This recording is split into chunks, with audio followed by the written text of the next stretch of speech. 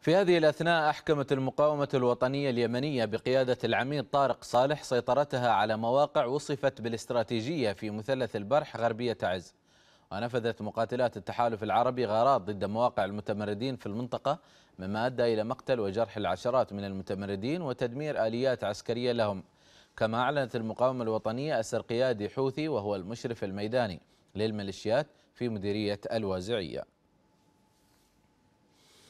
معنا من القاهرة الخبير العسكري والاستراتيجي اليمني العميد جميل المعمري. أهلا بك سيادة العميد. معنا على سكاي نيوز عربية. سيادة العميد بداية طبعا تطورات كبيرة في تلك المناطق. ما أهميتها؟ كيف تقرأ هذه الأهمية؟ وأيضا وجود العميد طارق صالح وهو ابن أخ الرئيس السابق علي عبد الله صالح وجوده مع المقاومة. يعني فعلا هناك تقدم كبير لم يكن يحدث من ذي قبل. كيف تقيم هذه المسألة؟ بسم الله الرحمن الرحيم. أولا من خلال المعارك التي حدثت خلال اليومين الماضيين أو الأيام الماضية أعتقد بالنسبة لأهمية المعركة تعتبر المعركة هامة جدا.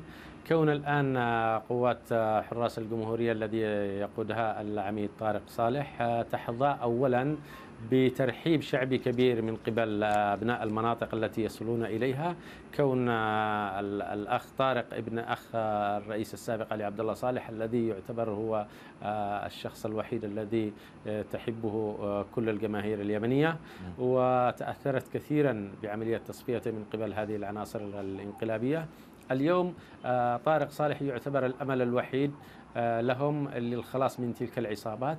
فالمعركة التي يقودها تعتبر معركة هامة جدا. كون أولا اتجاهها كون المناطق التي بدأ فيها سواء في منطقة الساحل أو في المناطق الغربية لمدينة تعز. لأن مثل هذه المعركة أولا ستكون لها أهمية كبرى في عملية كسر الحصار عن مدينة تعز وربط مدينة تعز بالمناطق المحررة في الساحل الغربي.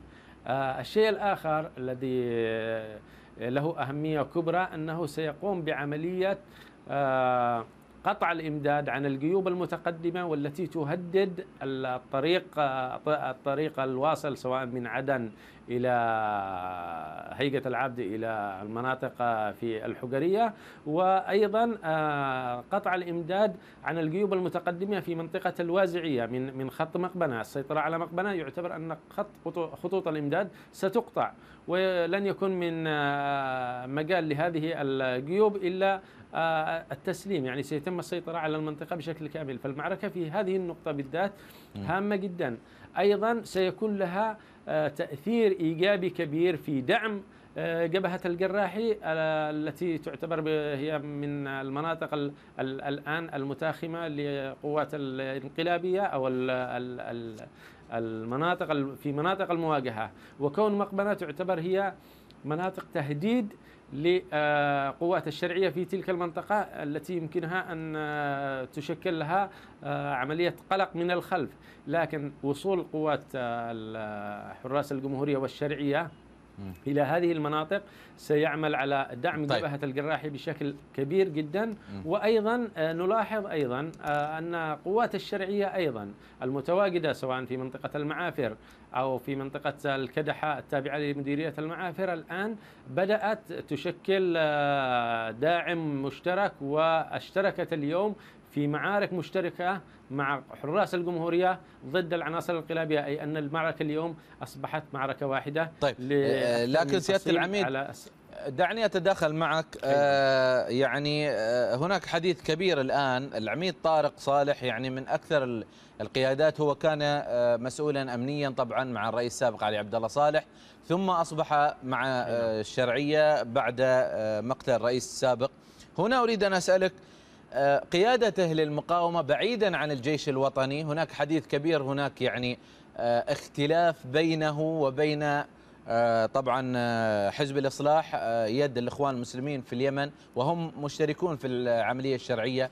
لكن ما هذا التقدم إلى أي مدى يجب أن يكون مدعوم من قبل القوات الشرعية من قبل الرئيس عبد ربه منصور هادي بشكل أقوى لكي يحقق مزيد من التقدم؟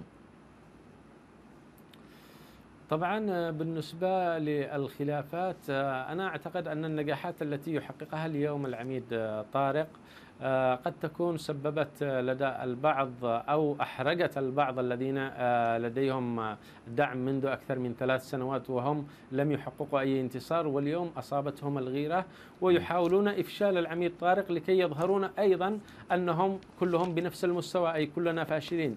لكن العميد طارق اليوم حقق إنجازات تذكر حقق انتصارات آه، كبيرة ويتقدم الآن بخطى ثابتة آه، فيجب على الجميع أن يتناسى الخلافات الهامشية وعلى الجميع أن يتحد تحت راية واحدة من أجل القضاء على هذه العصابة.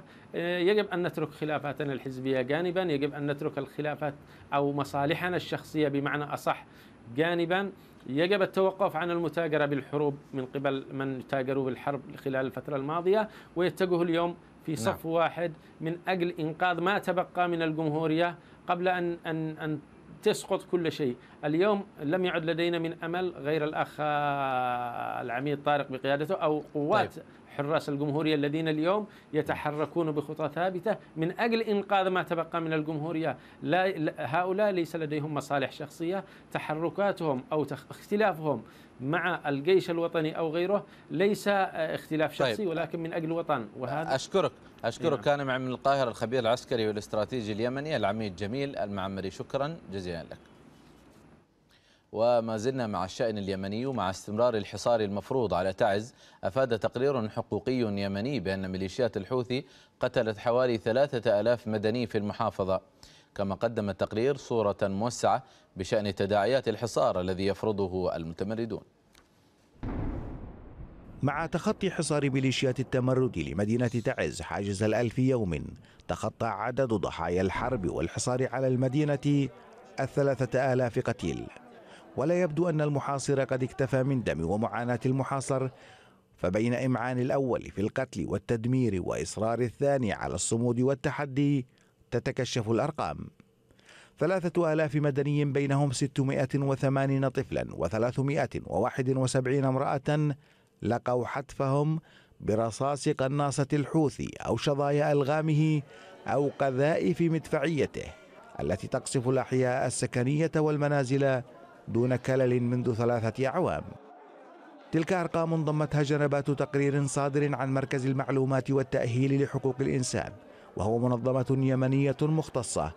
ضم تقريرها أرقاما أخرى صادمة. منها أن عدد الجرحى والمصابين من المدنيين بقصف ورصاص الميليشيات الموالية لإيران بلغ ما يقرب الستة عشر ألفا بينهم ألف وستمائة وخمسة وخمسين طفلا وألفان وأربعمائة وخمسين امرأة في تعز. وعن ألغام الميليشيات يقول التقرير إنها حصدت أرواح زهاء سبعمائة مواطن بينهم 32 طفلا وأربع عشرة امرأة. وتسببت بإعاقات دائمة لألف ومائة وثلاثين مدنيا بينهم نساء وأطفال.